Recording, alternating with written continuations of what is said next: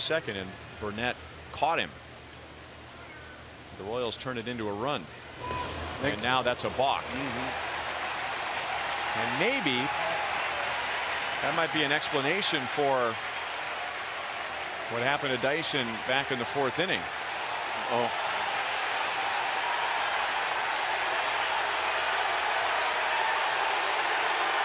Jerry Davis, a veteran umpire of over 30 years, is showing a lot of restraint.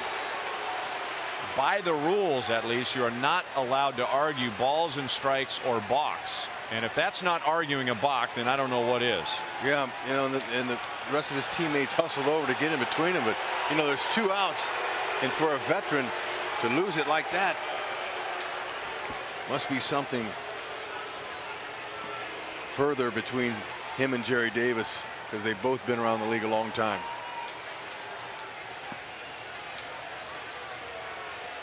Clint Hurdle almost had to make an emergency move to his bullpen with two outs in the sixth inning. There's nobody warming up and now let's see.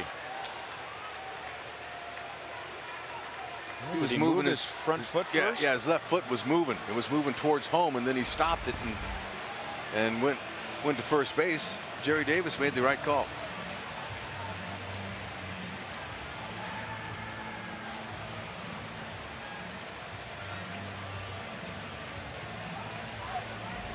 Ray Okay. Sears is the Pirates pitching coach. Watch his watch his front foot here. Yep. That front, the first movement cannot be the front leg bending.